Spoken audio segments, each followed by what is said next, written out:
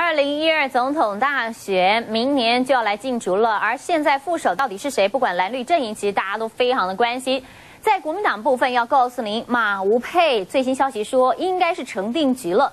不过，总国民党中央就特别表示了，其实这样的说法真的是言之过早，确切应该应该是要到六月底才会来决定。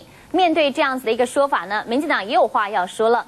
民进党表示，根据一个最新的民调，其实马总统的支持度呢还不到四成左右，所以他们说，不管到最后是谁配谁，这场选战都好打。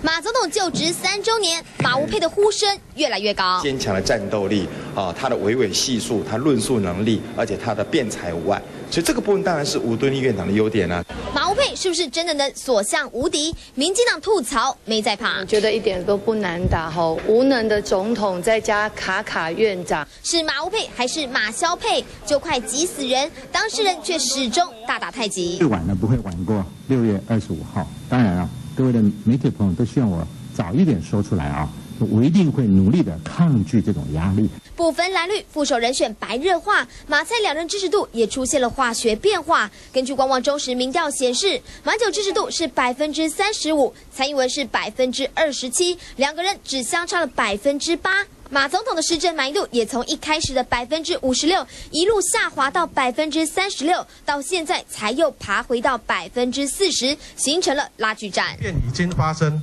我们奉劝马英九总统回头是岸。无独有偶，民进党的民调显示，马总统满意度只剩下百分之三十九点三，看来要拼连任，马总统政绩可得让民众更有感。